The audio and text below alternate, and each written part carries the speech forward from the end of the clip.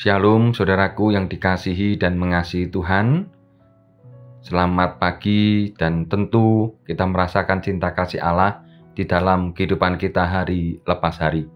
Hari ini firman Tuhan menyapa kita dalam program Resiran, renungan singkat GKC Petoran terambil dari Mazmur ke-37 ayat yang ke-8 demikian. Berhentilah marah dan tinggalkanlah panas hati itu. Jangan marah, itu hanya membawa kepada kejahatan. Saudaraku yang dikasihi dan mengasihi Tuhan, minimal ada lima akibat dari kemarahan. Yang pertama adalah hilangnya rasa damai sejahtera. Yang kedua, retak dan terputusnya hubungan persaudaraan dan persahabatan. Yang ketiga, mudah lupa dan akhirnya berbuat salah. Yang keempat, Bila naik tensinya, bisa menjadi dengki dan dendam.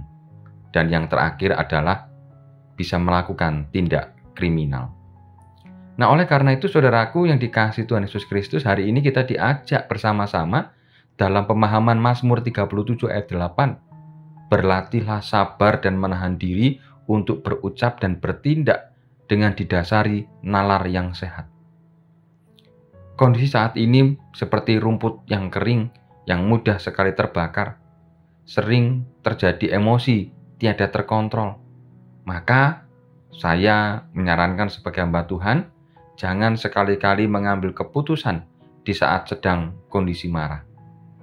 Maka mari kita bersama-sama sebagai anak-anak Tuhan, mari kita senantiasa menjadikan kehidupan ini menjadi damai.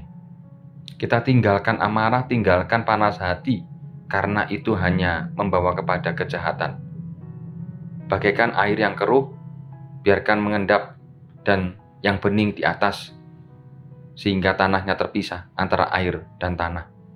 Bila ada ketersinggungan, maka mari saudaraku dikasih Tuhan, kita datang kepada Tuhan, kita mohon kekuatan, kita mohon pertolongan, dan kita mohon pengampunan daripadanya. Karena dengan melihat Tuhan yang tergantung di kayu salib, maka akan kita lihat cinta kasih Allah. Allah mengampuni perilaku-perilaku yang sebenarnya tidak sesuai dengan kehendak Tuhan. Tuhan belajar dan mengajari kita. Tuhan mengampuni, maka kita pun juga harus belajar mengampuni. Kiranya Tuhan menolong dan memberkati kita semua. Amin. Mari kita berdoa.